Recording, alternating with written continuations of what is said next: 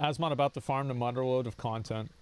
Trump's indictment in Atlanta will be different. Fingerprints and a mugshot. A dozen other indicted defendants. Courtroom proceedings on live TV. If they televise the Trump trials, I will wake up at 8 in the morning to watch them. Okay?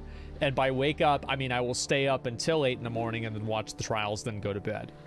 Yeah, uh, guaranteed I'm going to do that. There's no way I miss out on that, man. I personally, I don't think Trump is going to jail. I think if they don't put him in jail, I think he's going to win.